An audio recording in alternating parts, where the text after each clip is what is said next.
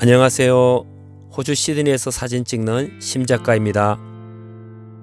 오늘은 블루 마운틴의 한 부분인 그랜드 캐년의 트레킹 코스를 소개해 드립니다. 블루 마운틴은 가깝게는 3, 4km, 멀게는 수십 킬로나 되는 트레킹 코스들이 참 많습니다. 그랜드 캐년 트레킹 코스는 아이들이나 여자분 또는 등산의 초보자들도 다녀올 수 있는 쉬운 코스로 3, 4시간 정도 걸립니다. 길도 잘 정비되어 있고 험하지도 않고 온갖 볼거리들이 참 많습니다.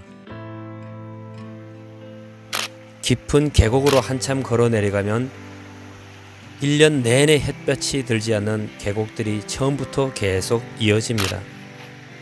거기에는 폭포도 있고 냇물도 흐르고 동굴도 지나고 신기하게 생긴 바위들과 쓰러진 고목들의 풍경도 사진 찍기에는 참 좋습니다. 그리고 사방이 온통 이끼로 가득 차 있습니다. 죽은 고목이나 살아있는 나무나 바위에 온통 이끼가 가득 끼어 있습니다. 이곳을 트레킹하면서 찍은 여러 사진들을 통해서 원시 밀림의 협곡에서 힐링하실 수 있기를 바랍니다.